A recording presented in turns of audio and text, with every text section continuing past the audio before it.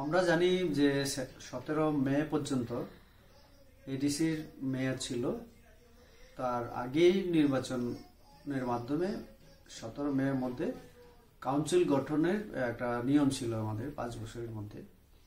তো সেটা কোভিড নাইন্টিনের কারণে ইলেকশন যেহেতু সম্ভব হয়নি, সেই কারণে রাজ্যপাল, যেটা সাংবিধানিক নিয়মে, রাজ্যপাল তিনি দায়িত্ব নিয়ে নিলেন এবং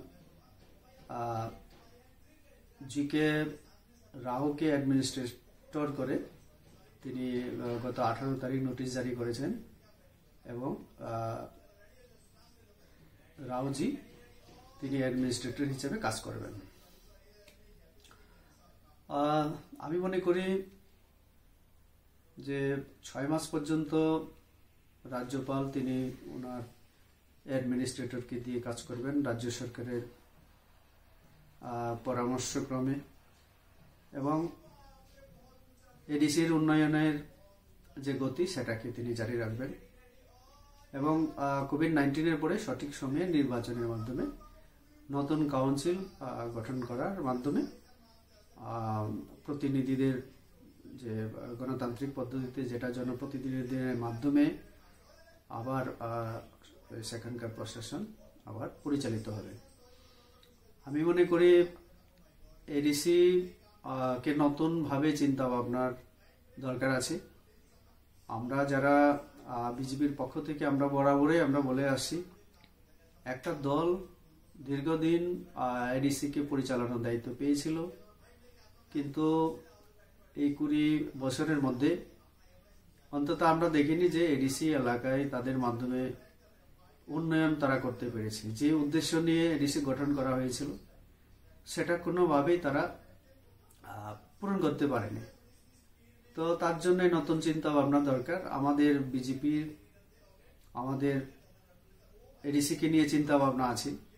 ইতিমধ্যেই আমরা পঞ্চাশটা সিট বাড়ানোর জন্য এবং আরও অনেক দপ্তরগুলিকে এডিসির হাতে হস্তান্তর করার জন্য রাজ্য সরকার ক্যাবিনেটে সিদ্ধান্ত নিয়ে কেন্দ্রীয় সরকারের কাছে প্রেরণ করেছে। আমিও সাংসদ হিসাবে সংসদে আমি শীত বাড়ানো সহ ক্ষমতায়নের ব্যাপারে আমি কথা বলেছি। আমি হোম মিনিস্টারের সঙ্গেও ব্যক্তিগতভাবে দুইজন আমাদের স্বরাষ্ট্রমন্ত্রী। তাদের সঙ্গে অমিত শাহজি এবং আমাদের যে কিষাণ রেড্ডিজি, তাদেরকে আমি অবগত করেছি। এবং কেন্দ্রীয় মন্ত্রীদের সাথে আমাদের যে অর্জুন মুন্ডাজি, ট্রাইবেল ওয়েলফেয়ার মিনিস্টার, তাদের সঙ্গেও আমি এ ব্যাপারে কথা বলেছিলাম। তো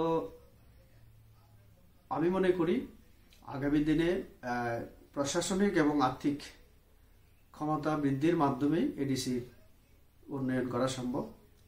আমাদের বিজেপির পরিকল্পনা আছে। এডিসিকে নতুনভাবে সাজিয়ে তোলার। তো কাজেই ছয় মাস পর্যন্ত এখন এই কোভিড নাইন্টিন বিভিন্ন কারণে যেটা ইলেকশন হতে যেহেতু পাচ্ছে না, তো স্বাভাবিক পরিস্থিতির পরে নির্বাচনের মাধ্যমে আমি আশা করি যে ত্রিপুরার জনগণ বিজেপিকে সুযোগ দেবে, এডিসিকে সুন্দরভাবে গড়ে তোলা এবং আর্থ সামাজিক সাংস্কৃতিক ভাষাগত আমাদের শিক্ষা ইত্যাদি উন্নয়নের জন্য কাজ করার একটা সুযোগ দেবে। নমস্কার।